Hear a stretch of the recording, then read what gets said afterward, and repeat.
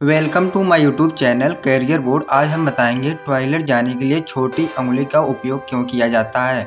चलिए शुरू करते हैं।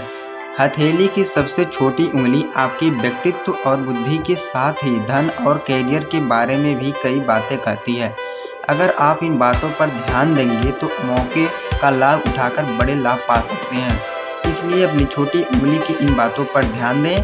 और इसी का यही कारण है कि अब छोटी उंगली को हर जगह प्रयोग किया जाता है। Thanks subscribe my YouTube channel